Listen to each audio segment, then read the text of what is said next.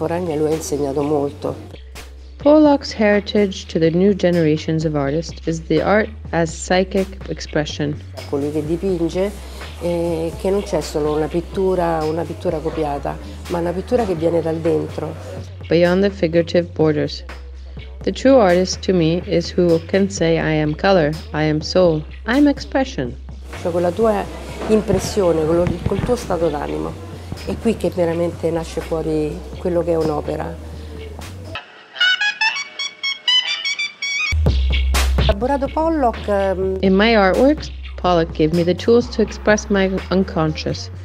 It is about my constructions, inspired by Pollock's technique, which shapes expressions from my deepness. E quindi lavorando su quello che erano praticamente le mie opere. I began using dripping, spreading the colors instinctively, without schemes, without mind-driven constructions, expressing my unconscious.